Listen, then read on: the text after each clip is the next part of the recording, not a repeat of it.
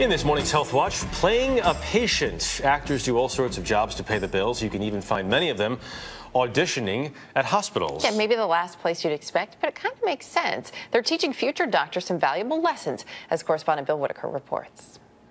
Stage and screen actor Neil Mehr has credits that run from One Flew Over the Cuckoo's Nest to Blue Bloods. Isn't that a case of too little too late, Commissioner?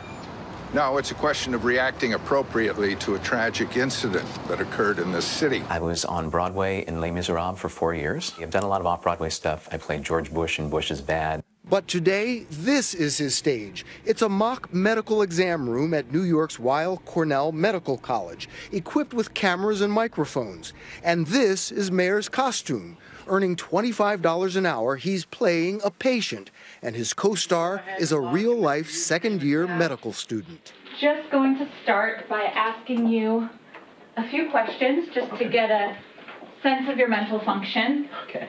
Here, um, it's the student's performance that's being evaluated by a very small audience, an instructor behind a two way mirror. It's a way to help inexperienced students um, take what they learn in the classroom and apply it in an actual clinical setting. They get an opportunity to practice and potentially, frankly, to make a mistake without any harm coming to a patient. 126 U.S. medical schools report using these so called standardized patient programs. Each one employs a variety of actors, spending the day portraying patients with the same symptoms. One. On this day, it's a neurological problem, but on other days, the script could call for something else. I have had meningitis as a standardized patient. I have uh, had gout.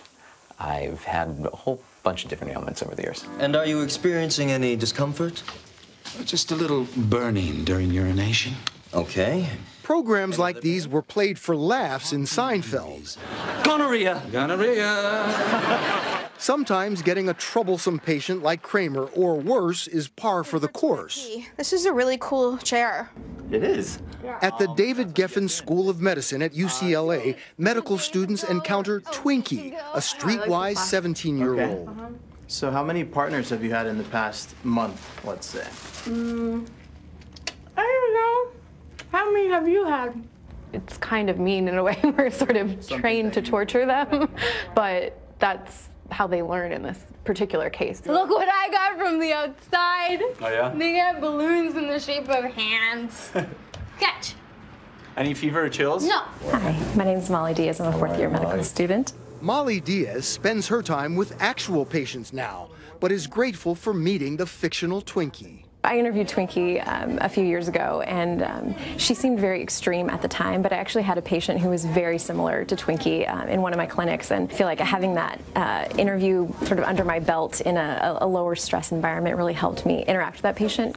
So, like, I'm gonna die or something? You're, you're not gonna die. There's plenty of people who have HIV and they're still alive. They the students have to give Twinkie a devastating diagnosis, and this make believe encounter becomes all too real. It got to a point where I felt like, yes, like, you know, I am hearing this patient's story and we're trying to figure out the next steps of care. And it's really empowering to be able to have that experience moving forward in, in the next steps of my medical education. The actors walk away feeling empowered as well.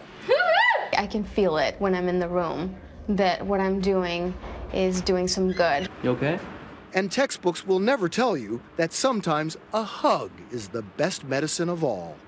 Bill Whitaker, CBS News, Los Angeles.